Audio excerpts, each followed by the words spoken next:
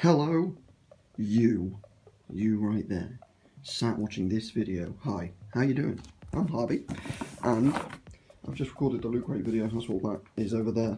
But they both turned up on the same fucking day. This I've really been looking forward to. I've actually seen the film.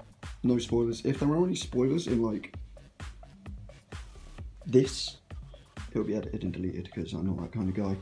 Anyway, I've already cut it open, so let's just get straight into. It let's get straight into it. Two things straight away it should be. That's all. He said curse. Oh, they're stuck together. My goodness. Come on, here we go. Black Panther pin. That's sick. These are beautiful. Right. Let's have a look. That's just, oh, that's just advertising the next one. Really sick t-shirt, of course, as always. We'll open that up in a moment.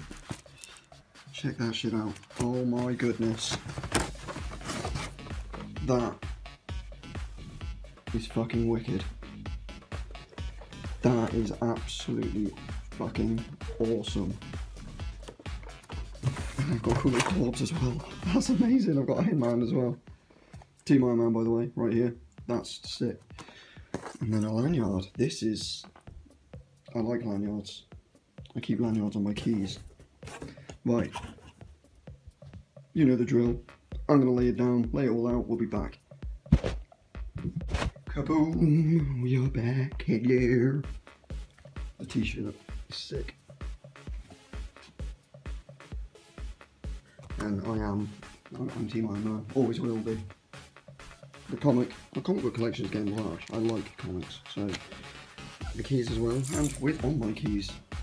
There you go, those are my keys. In case you ever wanted to know, know what my keys look like, there you go. Uh, had a quick look at those already, those are sick. This is an absolutely fucking awesome box. And these and this. Of course they're going to go with all the rest of my shit in my lounge. I've got like the nerdiest, the nerdiest collection ever. Fucking hell. Goodbye.